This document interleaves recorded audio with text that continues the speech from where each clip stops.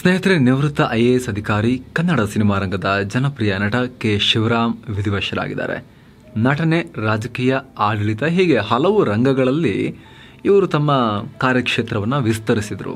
ಕನ್ನಡದಲ್ಲಿ ಐಎಎಸ್ ಬರೆದು ಪಾಸಾದ ಮೊದಲ ಅಧಿಕಾರಿ ಅಂತಲೂ ಖ್ಯಾತರಾಗಿದ್ದರು ಈಗ ಹೃದಯಾಘಾತದಿಂದ ದೂರ ಆಗಿದ್ದಾರೆ ಬುಧವಾರ ಬೆಂಗಳೂರಿನ ಎಚ್ ಸಿ ಜಿ ಆಸ್ಪತ್ರೆಗೆ ಶಿವರಾಮ್ ಅವ್ರನ್ನ ಸೇರಿಸಲಾಗಿತ್ತು. ಹೃದಯಾಘಾತದೊಂದಿಗೆ ಮೆದುಳು ನಿಷ್ಕ್ರಿಯ ಆಗಿದ್ದರಿಂದ ಆರೋಗ್ಯ ಸ್ಥಿತಿ ಚಿಂತಾಜನಕ ಆಗಿತ್ತು ಐಸಿಯುನಲ್ಲಿ ಚಿಕಿತ್ಸೆ ಕೊಡಲಾಗ್ತಿತ್ತು. ಆದರೆ ಈಗ ಚಿಕಿತ್ಸೆ ಫಲಕಾರಿಯಾಗದೆ ಅಸುನಿಗಿದ್ದಾರೆ. ಅನಾರೋಗ್ಯ ಸಮಸ್ಯೆಯಿಂದ ಬಳಲ್ತಾ ಇದ್ದ ಕೆ. ಶಿವರಾಮ್ ಅವರಿಗೆ ಎಪ್ಪತ್ತೊಂದು ವರ್ಷ ವಯಸ್ಸಾಗಿತ್ತು. ಗಂಟಲು ಕ್ಯಾನ್ಸರ್ನಿಂದ ಬಳಲ್ತಾ ಇದ್ದರು ಇಪ್ಪತ್ತು ದಿನಗಳ ಹಿಂದೆ ರಕ್ತದ ಒತ್ತಡದಲ್ಲಿ ಏರುಪೇರಾಗಿ ಆಸ್ಪತ್ರೆಗೆ ದಾಖಲು ಮಾಡಲಾಗಿತ್ತು. ಡಯಾಲಿಸಿಸ್ ಕೂಡ ಮಾಡಲಾಗ್ತಾ ಇತ್ತು. ಹೃದಯಾಘಾತ ಉಂಟಾಗಿತ್ತು ಅಂತ ಮಾಹಿತಿ ಲಭ್ಯ ಆಗ್ತಾ ಇದೆ. ಹಳ್ಳಿಯಿಂದ ಸಿಐಡಿ ಆಫೀಸಿಗೆ. ಸರ್ಕಾರಿ ನೌಕರಿಯಲ್ಲಿದ್ದರೂ ನಿಲ್ಲದ ಓದು.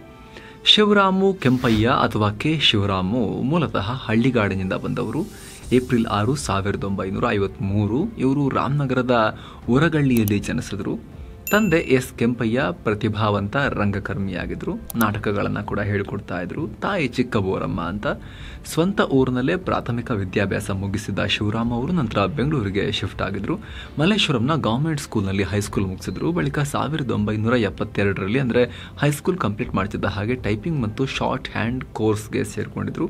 ಕನ್ನಡ ಮತ್ತು ಇಂಗ್ಲಿಷ್ನಲ್ಲಿ ಈಸಿಯಾಗಿ ಟೈಪಿಂಗ್ ಮಾಡೋದನ್ನು ಕಲ್ತ್ಕೊಂಡಿದ್ರು. ಇದೇ ವಿದ್ಯೆಯಿಂದಾನೇ ಮುಂದೆ ಸರ್ಕಾರಿ ನೌಕರಿ ಕೂಡ ಗಿಟ್ಟಿಸ್ಕೊಂಡ್ರು. ಸಾವಿರದ ಒಂಬೈನೂರ ಎಪ್ಪತ್ತ್ಮೂರರ ಮೇನಲ್ಲಿ ಕ್ರೈಮ್ ಇನ್ವೆಸ್ಟಿಗೇಷನ್ ಡಿಪಾರ್ಟ್ಮೆಂಟ್ ಸಿಐಡಿ ವಿಭಾಗದಲ್ಲಿ ಪೊಲೀಸ್ ರಿಪೋರ್ಟರ್ ಆಗಿ ಸೇರಿಕೊಂಡಿದ್ದರು ಸರ್ವಿಸ್ನಲ್ಲಿ ಇರಬೇಕಾದ್ರೇ ತಮ್ಮ ವಿದ್ಯಾಭ್ಯಾಸ ಮುಂದುವರೆಸಿದ್ರು. ವಿವಿಪುರಂನ ಈವ್ನಿಂಗ್ ಆರ್ಟ್ಸ್ ಆ್ಯಂಡ್ ಕಾಮರ್ಸ್ ಕಾಲೇಜಲ್ಲಿ ಬಿ ಎ ಮುಗಿಸಿದ್ರು. ನಂತರ ಸಾವಿರದ ಒಂಬೈನೂರ ಎಂಬತ್ತೆರಡರಲ್ಲಿ ಮೈಸೂರು ಮುಕ್ತ ಯೂನಿವರ್ಸಿಟಿಯಲ್ಲಿ ಕರೆಸ್ಪಾಂಡೆನ್ಸ್ ಮೂಲಕ ಇತಿಹಾಸ ವಿಚಾರದಲ್ಲಿ ಮಾಸ್ಟರ್ ಆಫ್ ಆರ್ಟ್ಸ್ ಕೂಡ ಮಾಡಿದ್ರು. ಕೆ ಎಸ್ ಎರಡು ಸಲ ಪಾಸ್. ಆದರೂ ನೀಗದ ಸಾಧನೆಯ ಹಸಿವು. ಇಷ್ಟೆಲ್ಲ ಓದಿದ್ರೂ ಆಲ್ರೆಡಿ ಸರ್ಕಾರಿ ನೌಕರಿಯಲ್ಲಿ ಇದ್ರೂ ಶಿವರಾಮ್ ಅವರ ಓದಿನ ಹಸಿವು ಉನ್ನತ ಹುದ್ದೆಗೇರೋ ಕನಸು ಮುಗ್ದಿರಲಿಲ್ಲ. ಸೇವೆಯಲ್ಲಿರ್ತಾನೆ ಕೆ ಪಿ ಎಸ್ ಸಿ ಅಂದರೆ ಕೆ ಎಸ್ ಪರೀಕ್ಷೆಗೆ ತಯಾರಿ ನಡೆಸಿದ್ರು. ಕೊನೆಗೆ ಸಾವಿರದ ಒಂಬೈನೂರ ಎಂಬತ್ತೈದರಲ್ಲಿ ಕೆ ಎಸ್ ಕ್ಲಿಯರ್ ಮಾಡಿ deputy superintendent of police, D S P ಆಗಿ ಪೊಲೀಸ್ ಇಲಾಖೆಯನ್ನು ಸೇರಿಕೊಂಡ್ರು. ಆದರೂ ಬಹುಶಃ ಅವರ ರ್ಯಾಂಕ್ ಬಗ್ಗೆ ಸಮಾಧಾನ ಇರಲಿಲ್ಲ ಅನಿಸುತ್ತೆ. ಹೀಗಾಗಿ ಮರು ವರ್ಷ ಮತ್ತೆ ಕೆ ಎಸ್ ಬರೆದ್ರು. ಈ ಸಲ ಎಸ್ ಸಿ ಸಮುದಾಯದಲ್ಲೇ ಕೆ ಎಸ್ನಲ್ಲಿ ಮೊದಲ ರ್ಯಾಂಕ್ ಪಡೆದ್ರು. ಈ ಮೂಲಕ ಡಿ ಎಸ್ ಪಿ ಇದ್ದವರು A C P, assistant commissioner of police ಆದರು.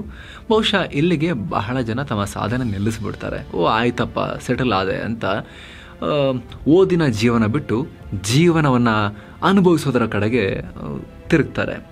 ಆದರೆ ಶಿವರಾಮ್ ಅವರು ಮಾತ್ರ ತಮ್ಮ ಓದನ್ನು ನಿಲ್ಲಿಸಲೇ ಇಲ್ಲ. ಐ ಎ ಎಸ್ ಮಾಡಬೇಕು ಅನ್ನೋದು ಅವರ ಬಾಲ್ಯದ ಕನಸಾಗಿತ್ತು. ಹೀಗಾಗಿ ಕರ್ನಾಟಕ ಪೊಲೀಸ್ ಅಕಾಡೆಮಿಯಲ್ಲಿ ಟ್ರೈನಿಂಗ್ ಪಡೆಯುತ್ತಿರುವಾಗಲೇ ಯು ಪಿ ಎಸ್ ಸಿಗೆ ಪ್ರಿಪೇರ್ ಕೂಡ ಆಗೋಕೆ ಶುರು ಮಾಡಿದ್ರು. ಅಂದುಕೊಂಡಂತೆಯೇ ಟ್ರೈನಿಂಗ್ ಪೀರಿಯಡ್ನಲ್ಲೇ ಐ ಎ ಎಸ್ ಕೂಡ ಕ್ಲಿಯರ್ ಮಾಡಿದ್ರು. ಕನ್ನಡ ಭಾಷೆಯಲ್ಲಿ ಐ ಎ ಎಸ್ ಪರೀಕ್ಷೆ ಬರೆದು ತೇರ್ಗಡೆಯಾದ ಮೊದಲ ವ್ಯಕ್ತಿ ಅನ್ನೋ ಹೆಗ್ಗಳಿಕೆಗೆ ಕೆ. ಶಿವರಾಮ್ ಪಾತ್ರರಾದರು. ಐ ಎ ಎಸ್ ಅಧಿಕಾರಿಯಾಗಿ ವಿಜಯಪುರ, ಬೆಂಗಳೂರು, ಮೈಸೂರು, ಕೊಪ್ಪಳ, ದಾವಣಗೆರೆ ಸೇರಿದಂತೆ ಹಲವು ಕಡೆ ಸೇವೆ ಸಲ್ಲಿಸಿದ್ರು. ಕೊನೆಗೆ ಬೆಂಗಳೂರು ರೀಜನಲ್ ಕಮಿಷನರ್ ಆಗಿದ್ರು. ಐಎಎಸ್ಗೆ ಸ್ವಯಂ ನಿವೃತ್ತಿ, ಬಣ್ಣದ ಲೋಕಕ್ಕೆ ಶಿವರಾಮ್ ಎಂಟ್ರಿ. ಐ ಎ ಎಸ್ನಲ್ಲಿರಬೇಕಾದ್ರೇ ಶಿವರಾಮ್ ಅವರಿಗೆ ಸಿನಿಮಾದಲ್ಲೂ ಕೂಡ ಆಸಕ್ತಿ ಶುರುವಾಯಿತು. ಸಿನಿಮಾ ರಂಗಕ್ಕೂ ಕಾಲಿಟ್ಟಿದ್ರು. ತೊಂಬತ್ತರ ಕಾಲಘಟ್ಟದಲ್ಲಿ ಕನ್ನಡ ಸಿನಿಮಾ ಪ್ರೇಕ್ಷಕರ ಪಾಲಿನ ನೆಚ್ಚಿನ ಹೀರೋಗಳಲ್ಲಿ ಒಬ್ಬರು ಅನ್ನೋ ಸ್ಥಾನವನ್ನು ಕೂಡ ಪಡ್ಕೊಂಡ್ಬಿಟ್ರು. ಸರ್ಕಾರಿ ಕೆಲಸಕ್ಕೆ ರಾಜೀನಾಮೆ ನೀಡಿ ಸಿನಿಮಾ ರಂಗಕ್ಕೆ ಎಂಟ್ರಿ ಕೊಟ್ಟಿದ್ರು. ನಾಗ್ತೇಡಿ ಚಂದ್ರಶೇಖರ್ ಅವರ ಬಾ ನಲ್ಲೆ ಮಧುಚಂದ್ರಕ್ಕೆ ವಸಂತ ಕಾವ್ಯ, ಸಾಂಗ್ಲಿಯಾನ ಪಾರ್ಟ್ ತ್ರೀನಲ್ಲಿ ಖಳನಾಯಕ. ಯಾರಿಗ್ ಬೇಡ ದುಡ್ಡು ಗೇಮ್ ಫಾರ್ ಲವ್ ನಾಗ, ಓ ಪ್ರೇಮ ದೇವತೆ ಸಿನಿಮಾಗಳಲ್ಲಿ ನಟಿಸಿದ್ರು. ಪ್ರತಿಭಟನೆ ಅನ್ನೋ ಚಿತ್ರಕ್ಕೆ ಬರವಣಿಗೆ ಕೂಡ ಮಾಡಿದ್ರು. ಕನ್ನಡ ಸಿನಿಮಾ ಇಂಡಸ್ಟ್ರಿ ಪಾಲಿಗೆ ತುಂಬ ಲಕ್ಕಿ ಹೀರೋ ಅಂತ ಅನಿಸ್ಕೊಂಡಿದ್ರು. ನಾಗ್ತಿಹಳ್ಳಿ ಚಂದ್ರಶೇಖರ್ ನಿರ್ದೇಶನ ಮಾಡಿದ್ದ Baa Nalle Madhuchandrakke cinema full hit ಆಗಿತ್ತು.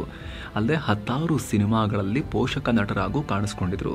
ಕೊನೆಯದಾಗಿ ಎರಡು ಸಾವಿರದ ಹದಿನೇಳರಲ್ಲಿ ಟೈಗರ್ ಅನ್ನೋ ಸಿನಿಮಾದಲ್ಲಿ ಕಾಣಿಸ್ಕೊಂಡಿದ್ದು ಬಿಟ್ಟರೆ ಅದಾದಮೇಲೆ ಯಾವ ಸಿನಿಮಾದಲ್ಲೂ ಬಣ್ಣ ಹಚ್ಚಿರಲಿಲ್ಲ. ಇದಾಗಿ ಹಲವು ವರ್ಷ ಸಿನಿಮಾ ರಂಗದಿಂದ ದೂರನೇ ಉಳಿದಿದ್ರು. ರಾಜಕೀಯದಲ್ಲೂ ಅಗ್ನಿ ಪರೀಕ್ಷೆ. ಹೊಸ ಹೊಸ ಪ್ರಯೋಗಗಳಿಗೆ ತಮ್ಮನ್ನ ಒಡ್ಡಿಕೊಳ್ಳೋ ಕೆ. ಶಿವರಾಮ್ ಅವರ ಪ್ರವೃತ್ತಿ ಮುಂದುವರೆದಿತ್ತು. ಸಿನಿಮಾ ನಂತರ ರಾಜಕೀಯದಲ್ಲೂ ತಮ್ಮನ್ನ ಪರೀಕ್ಷೆಗೆ ಒಳಪಡಿಸ್ಕೊಂಡಿದ್ರು. ಎರಡು ಸಾವಿರದ ಹದಿಮೂರರಲ್ಲಿ ಕಾಂಗ್ರೆಸ್ ಮೂಲಕ ರಾಜಕೀಯ ರಂಗಕ್ಕೆ ಕಾಲಿಟ್ಟರು ಮರು ವರ್ಷನೇ ಜೆ ಡಿ ಎಸ್ ಸೇರಿದ್ರು. ಎರಡು ಸಾವಿರದ ಹದಿನಾಲ್ಕರ ಲೋಕಸಭಾ ಚುನಾವಣೆಯಲ್ಲಿ ವಿಜಯಪುರ ಕ್ಷೇತ್ರದಿಂದ ಜೆ ಡಿ ಎಸ್ ಅಭ್ಯರ್ಥಿಯಾಗಿ ಕಣಕ್ಕಿಳಿದು ರಮೇಶ್ ಜುಗಿಜಿಣಗಿ ವಿರುದ್ಧ ಸೋಲನುಭವಿಸಿದ್ರು. ನಂತರ ಅದೇ ವರ್ಷ ಮತ್ತೆ ದಲಿತರಿಗೆ ಸಿಎಂ ಪಟ್ಟ ಸಿಗಬೇಕು ಅಂತ ಪರಮೇಶ್ವರ್ ಬೆಂಬಲಿಸಿ ಕಾಂಗ್ರೆಸ್ ಸೇರಿದ್ರು. ಆದರೆ ಕಾಂಗ್ರೆಸ್ನಲ್ಲಿ ಸೂಕ್ತ ಸ್ಥಾನಮಾನ ಸಿಗದೇ ಇದ್ದಾಗ ಬಿಜೆಪಿ ಸೇರಿದ್ರು. ಕೊನೆವರೆಗೂ ಬಿಜೆಪಿಯಲ್ಲೇ ಉಳಿದಿದ್ರು. ಆದರೆ ಇತ್ತೀಚೆಗೆ ಅನಾರೋಗ್ಯಕ್ಕೆ ಒಳಗಾಗಿದ್ದರಿಂದ ರಾಜಕೀಯ ಚಟುವಟಿಕೆಗಳಿಂದ ದೂರ ಆಗಿದ್ರು. ಇಂತಹ ಶಿವರಾಮ್ ಅವರು ಈಗ ನಮ್ಮೆಲ್ಲರನ್ನ ಅಗಲಿ ಭಾರತ ಲೋಕಕ್ಕೆ ಹೋಗಿದ್ದಾರೆ. ಅವರ ಆತ್ಮಕ್ಕೆ ಶಾಂತಿ ಸಿಗಲಿ.